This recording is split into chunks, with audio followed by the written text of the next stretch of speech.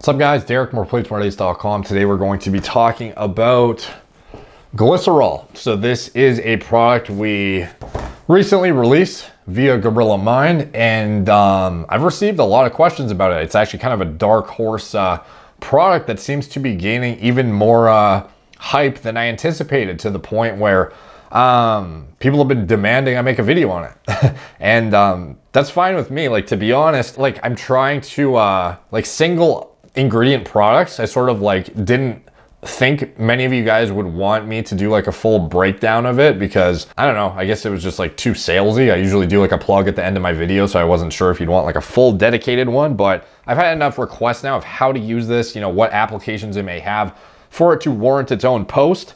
Um, so basically what can you expect from glycerol? Again, by the way, as a preface to this, this is not mandatory by any means, and frankly, in a bodybuilding context, glycerol mega dosed pre-workout is more of like a novelty than a significant performance enhancing benefit. So as of now, Gorilla Mode already has three grams of glycer pump in it. Gorilla Mode Nitric already has four grams of glycer pump in it. However, one thing you'll note about pre-workouts and glycerol, or glycerol, however you want to say it, is that um, it's impossible to put in a like very, very maxed out dose in it because it's simply too much powder and it ruins the powder consistency. So if you've ever tried to mix pure glycerol, you'll know exactly why. Um, mega dosing it is very problematic. If we included more than like first of all glycerol is standardized to 65% glycerol. Like gl- glycer pump is only six, is 65% glycerol not 100% glycerol. And it's also created in a very elaborate way that prevents it from clumping. Like it's not pure glycerol. Pure glycerol is very very clumpy. So to have the product not turn into a rock in a tub and for it to mix properly whatsoever even though this is like on the market the four grams of glycer pump is considered a high dose, but you can see for yourself having a maxed out dose. This is just pure glycerol in one tub. So you can imagine how big our pre-workout would be if we tried to include like 10 to 20 to 30 grams of glycerol in each serving. And above and beyond that, it would have ruined the rest of the product because it would have arrived and been clumpy as hell combined with all the other ingredients and people would have, you know, would have ruined the whole product. And I talked about why we use Glycer Pump in my uh, breakdown video of Gorilla Mode and Gorilla Mode Nitric. So anyway, this is why this is a separate product that can be, it's optionally stacked on top. And to be honest, it's a lot more uh, applicable to stacking than I otherwise thought people would be interested in. Like I stack it on top of Gorilla Mode or Gorilla Mode Nitric or Gorilla Mode Stim. Like it stacks with all of them, regardless of which one you're using, it'll stack on top because it is simply a hyperhydrating agent that increases, uh, basically acts as a, uh, works as a plasma expander and a hyperhydrating agent. It helps you get uh, better pumps, better mind muscle connection, better endurance. Like frankly, in a bodybuilding context, though, like I said, it's not necessary, nor is pre-workout really necessary at all. Anyways, it's all sort of to, uh, you know, enhance a uh, mind muscle connection, get you motivated, get you, uh, you know, get a couple more extra reps out of your tank kind of thing. It's not like it's going to be the make or break if you build muscle or not, but you know, we all love our pre-workout. So glycerol is something that can be added to any of them for an extra boost in that uh, in a different vector of performance than every other pre-workout is focusing on. So basically how it works, it significantly enhances pumps and performance by hyperhydrating the muscle with water. So if you drink a lot of water, with nothing else in hopes of hyperhydrating your muscles, the fall in osmolarity in the body stimulates the kidneys to remove most of the excess water within an hour. So this is where glycerol comes into play. If you add glycerol to water, this prevents that drop in osmolarity and can extend the hyperhydration of your muscles by up to four hours. So by adding glycerol to your pre-workout, you can hold potentially upwards of an extra liter of water via this hyperhydrating effect. And you'll note um, we don't have a lot of reviews like on the actual product page because I don't know what it is about people in reviews. Like they, they'll post, I have like literally hundreds of reviews at, at this point on my Instagram and in my highlight reel, you'll see uh, reviews all the time of the products, but on the actual like product page, um, you're not gonna see a whole lot of reviews about it, but there's been very good feedback to date with uh, people adding this and getting uh, awesome pumps with it above and beyond what you would already get, which is already ridiculous with Gorilla Mode and Gorilla Mode Nitric. So by adding the glycerol, you can get an extra edge which you already have a significant edge with Gorilla Mode and Gorilla Mode Nitric, but even above and beyond that, it's basically a way to flush the muscle with even more water than you would otherwise be able to get. And hydration is obviously one of the most critical factors when it comes to performance. And I don't know if you've seen that statistic, but it's like only a 2% loss in fluids can result in as much as a 20% decrease in exercise performance. And exercise performed for more than an hour in a hot and humid environment can cause fluid loss exceeding three liters. Now, most athletes do not drink enough to offset this effect of dehydration during training or competition, even when given unlimited access to fluid. So aside from massive pumps, glycerol use has shown to increase endurance by as much as 24%, as well as improve aerobic and anaerobic power and performance. Dehydration in athletes alters cardiovascular and thermoregulatory function and may inhibit endurance exercise capacity if fluid loss exceeds 2% of body weight. This is what I mentioned earlier. If this level of dehydration cannot be prevented when starting from a state of euhydration, then athletes may create a state of hyperhydration by consuming extra fluid prior to exercise. From this hyperhydrated situation, individuals have a greater capacity to tolerate fluid loss before becoming dehydrated. Furthermore, excess pre-exercise fluid intake enhances thermoregulatory ability as well as increasing plasma volume to maintain cardiac output. However, hyperhydrating before exercise is difficult because a large fluid intake is typically accompanied by diuresis. Glycerol containing beverages create a, an osmotic gradient in the circulation favoring fluid retention, thereby facilitating hyperhydration and protecting against dehydration. Many studies have shown that increases in body water by one liter or more are achievable through glycerol hyperhydration. So there are contradictory studies showing that glycerol has like no performance enhancing benefit, and there are some showing that it is, uh, you know, fairly substantial. It kind of depends on exactly what you're doing. If you're an endurance athlete, this is going to be far more useful than somebody who is working out for an hour in the gym. But with that being said, a lot of guys are loving this product for like literally even novelty purposes just to get a bit of a better pump. And it can create a ridiculous pump. Is it going to make you like way more jacked? No it's probably not going to make any difference whatsoever in muscle growth. Maybe you could indirectly like stretch the fascia a bit more or squeeze out another rep above and beyond what you already get with the pre-workout. But i mean it's more of a thing to stack for it to be it's fun to add on top. It makes the workouts funner um, it tastes good and it uh, produces noticeable difference, honestly. Like you'll feel a difference in your pump when you use it.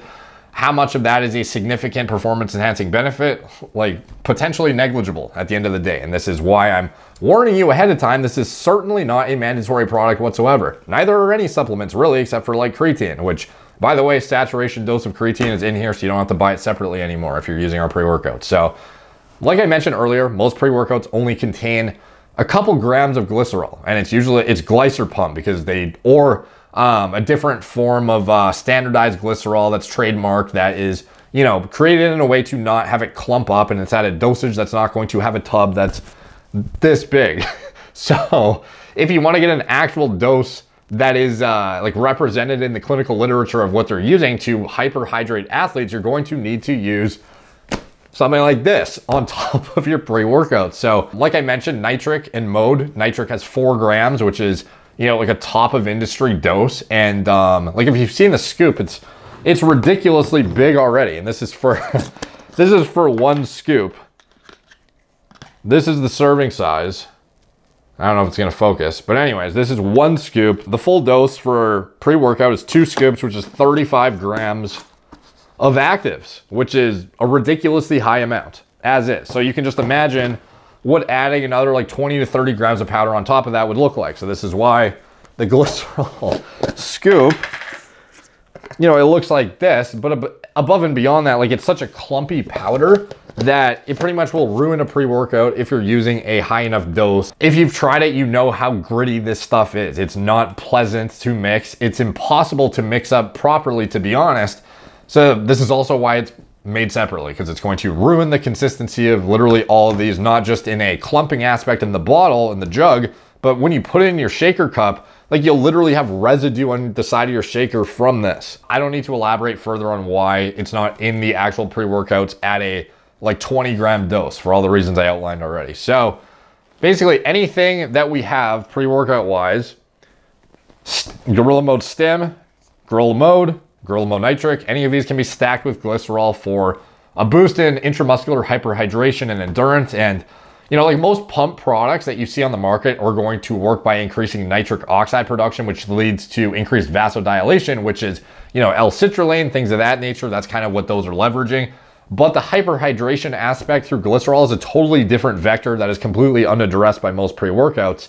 Um, and it increases vascularity and pumps via this totally different vector. So it's like stacking on top a whole nother layer of different effects, I guess, even though the end outcome is essentially you getting a ridiculous pump that uh, is bordering on painful in some instances, to be honest.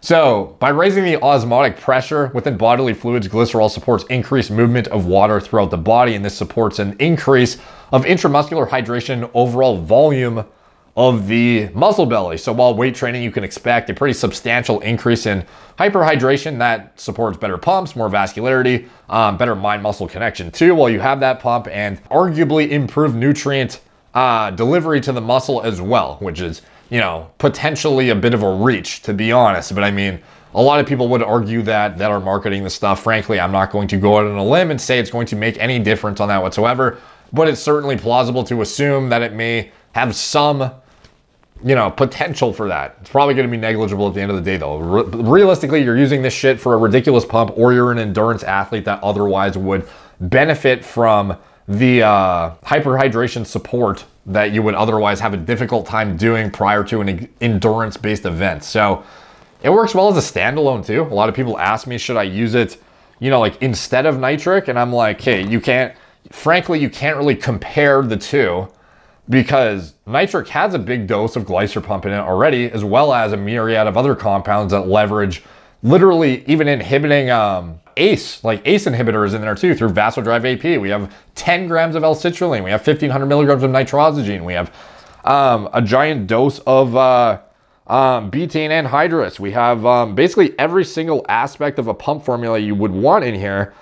We've maxed out sodium nitrate, 1500 milligrams, agmatine sulfate, everything, even malic acid added separately on top of it. Not artificially inflating the L-citrulline content, having a separate 10 gram L-citrulline and a separate 3 grams of malic acid on top of that. So you can't really compare glycerol to nitric at all. They're totally different. So, and there is four grams of glycerpump in nitric already. So if you, what you want like nitric is a better pump formula, but it's also because it has like every single vector completely maxed out from every single aspect.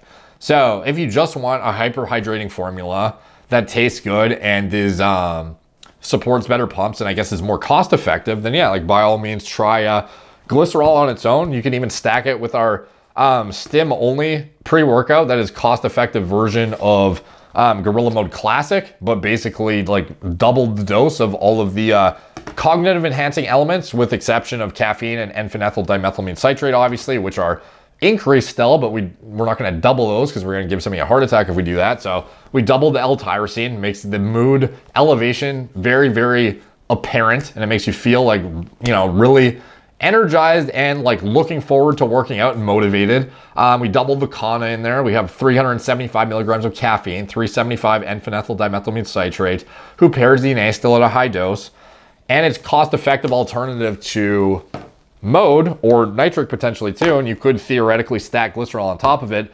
What we have on the site though, that I think is the most potent combo possible, we call it the ultimate pre-workout stack, is basically like mode is actually you could argue the cost-effective alternative to everything because it's the hybrid of the NO precursors, the hyperhydrating agents, the plasma expanders, the um, cognitive enhancing component, the stimulant complex, all at very high dosages in itself in one turnkey product. But if you wanted to max out literally everything in every single aspect, you would get nitric separately because this is like even in, has a few ingredients that is not included in mode and the nitric oxide precursors, hyperhydrating agents, plasma expanders are at an even higher dose than this.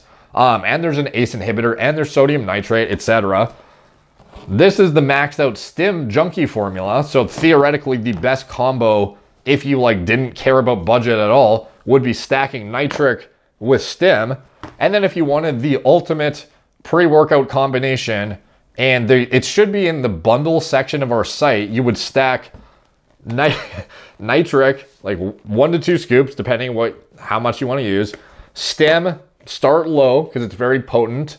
The max out would be like two scoops of this, two scoops of this. If you're a stim junkie, you're probably better off with like two scoops of this and like one scoop of this realistically, coupled with however many scoops of this as you want based on the suggested use. So the way I designed the formula was basically extrapolated from um, a study done where they basically determined what the best way to use this stuff was. So I'm trying to find the study here. I saved it a while ago. It's in my uh, my uh, directory here. Like again, before I go, uh, you know, on a tangent about it, let's just circle back quick and like explain exactly what you should expect from this again. So one of these studies showing glycerol intake limit and hyperhydration in glycerol solutions. Um, basically, the studies demonstrated a new and presumably safe method to promote a state of hyperhydration that persists over a four hour period. And this is one of the first instance, instances where glycerol was used via oral ingestion and the potential of multiple glycerol dosages with glycerol and water showed its efficacy in extending the hyperhydration window of an athlete for many hours or even days if wanted to. So the glycerol ingestion presumably increased intracellular water in the study and thereby has the potential for greater total body water expansion than do plasma expanders. So as glycerol is metabolized or excreted in the urine, the water retained by the glycerol would be available for maintenance of plasma volume as water loss by sweating or other avenues persist. The extent to which work performance will be improved by this method of hyperhydration remains to be tested. So again, this is all a little bit of extrapolation and this is not like a 100% like i mentioned i'm not going to harp back on uh, this is not something that's going to massively make a difference in your performance if you're just a bodybuilder working out for an hour. Or so um, the studies are interesting though and support its use in a variety of contexts. And for us just for novelty purposes it's actually very very fun to deploy in my opinion gives a better mind muscle connection. Above and beyond that going on to the pre-exercise glycerol hydration improves cycling endurance time. This is exactly where I extrapolated my formula from. So obviously when you're looking at these glycerol dosages, it's kind of hard to speculate as to how much you should be using. So, um, as well as how much water you should mix it in. So again, going back to the data in this one, basically they looked at in a model of hydration presented by Greenleaf, hyperhydration is described as a steady state of increased body water glycerol when combined with adequate volumes of water and given enough time for absorption and distribution appears to achieve the state. Previous data demonstrate that a single ingestion of glycerol can achieve this for up to four hours, and that ongoing ingestion of glycerol and water can maintain a hyperhydrated state for up to 40 hours.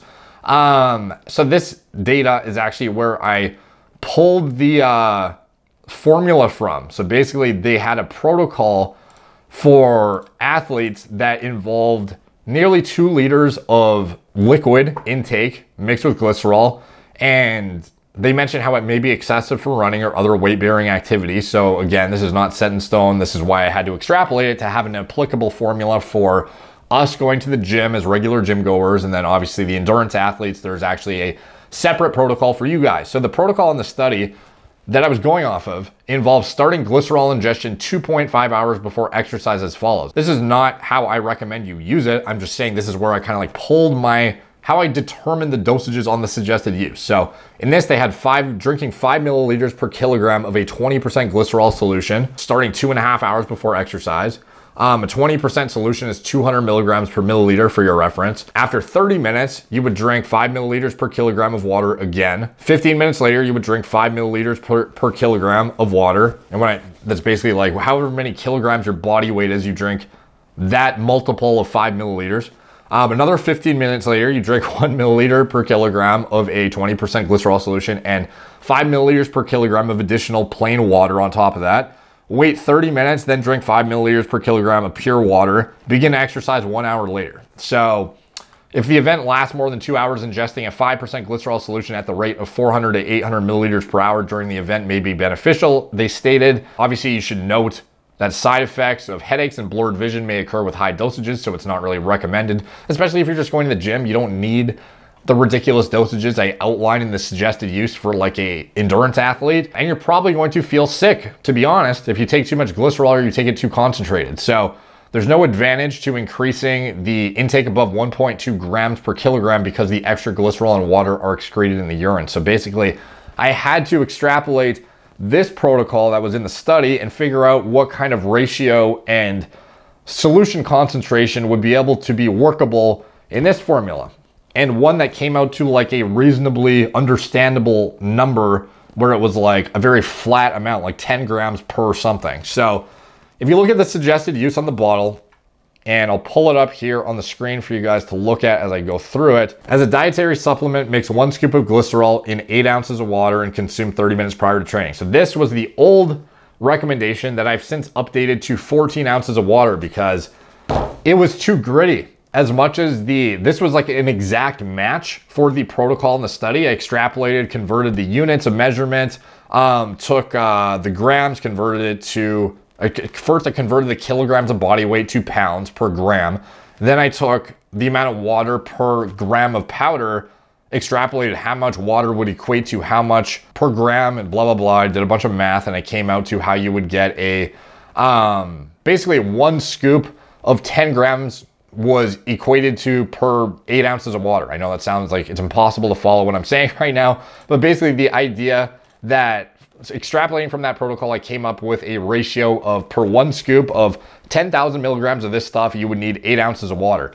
Since then, I've come to realize that this is way too gritty to have an eight ounces of water. So I've since updated it to 14 ounces of water per scoop. Like we don't need that concentrated amount for what 99% of us are doing anyway. So um, I didn't think it was worth keeping it at the eight ounce amount and it was just like almost intolerably gritty at that eight ounce amount. So it's since been updated, so it's now 14 ounces despite the current site saying 8 ounces. Hopefully, I'll probably update this pretty soon here. And the next uh, batch of the stuff will be updated accordingly. So if you're watching this and you want to know how to use it, go one scoop per 14 ounces of water instead of 8. So for all intents and purposes, these 8 treat as 14 on the suggested use. So it's a dietary supplement, mix one scoop of glycerol and 14 ounces of water and consume 30 minutes prior to training. How much more do you need? Like I have the suggested use all the way up to 100 grams for a 84 kilogram human. Do you need that much? No, you don't. Like you're not, unless you're competing in like a fucking Tour de France, you do not need that much. This is just for the most bottom end of the reference all the way up to like the max possible amount that you could use before there's a cutoff and you like really need to stop. So like I said, um, if you want to have more than 10 grams, like frankly, you probably only need 10 above and beyond what you're already using in your pre-workout or even as it's on its own solo. But if you want to use more, you can add another 14 ounces of water per additional scoop of glycerol.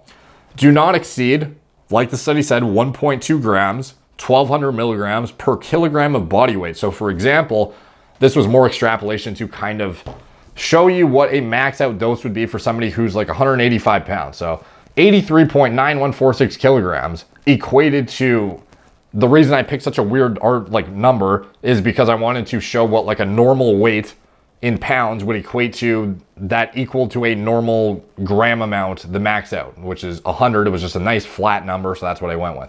So for somebody who weighs 185 pounds, which is that kilogram amount, the maximum glycerol dose you would use, be able to use, is 100 grams or 100,000 milligrams, which is 10 scoops of this stuff. You're not going to use that much, frankly. You're not going to need that much unless you are a cyclist or something.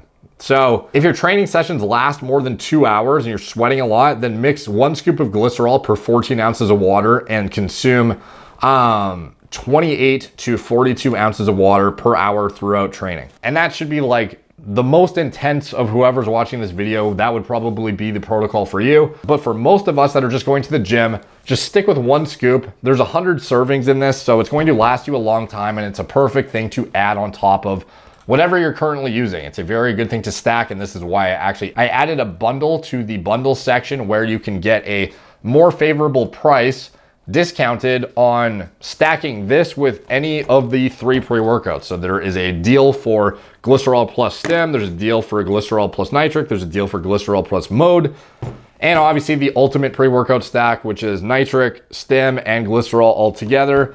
Is at a very favorable price break as well for getting all three of them at the same time. So that's it. Honestly, it's a this was way longer than it should have been for what I uh, for talking about one ingredient, but um, it's uh, honestly doing very well. I'm very happy with uh, the response to it. I wasn't even um, I wasn't expecting this many people to uh, really want to add it on. Like I've been using it for a while now. And I figured, you know, like some people might think it's uh, you know, fun thing to add on top of their pre's as well, like I do. I didn't expect such a positive response though, so I'm happy you guys really like it and like the idea, and it's a, a unique thing I haven't seen any companies doing. Check it out if it interests you. It's going to be uh, it's uh, very cost effective. It's going to last you a long time.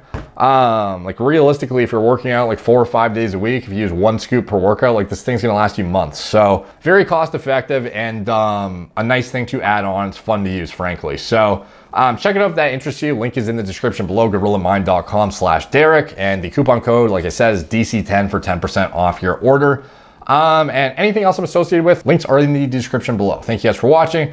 Um, follow me on Instagram at more plates underscore more dates, Facebook, Snapchat, BitChute, Twitter, TikTok, Apple Podcasts. I suggest you follow the Gorilla Mind Instagram and Facebook too if you want to stay up to date on stuff that we're coming out with, as well as um, like new product launches, um, breakdowns of certain products. Like sometimes I'll release stuff on the Gorilla Mind pages that I don't really release on here because typically I'm trying to make like content for you guys rather than just like a pure product plug video. But yeah, like obviously if there's a high enough demand, like anything that's a comprehensive formula, I'm going to explain my scientific breakdowns, those elaborate deep dives. But for single ingredient products, I've sort of just been firing some of them out without making these like deep dives. So I guess uh, let me know what you think about that and check out the Gorilla Mind pages, support the brand if you want to support me.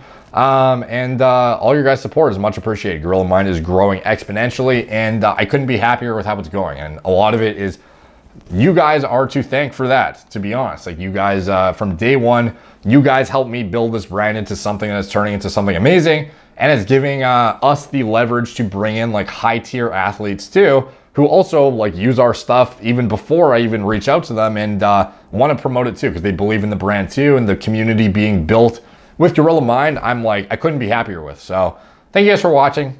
Talk to you soon.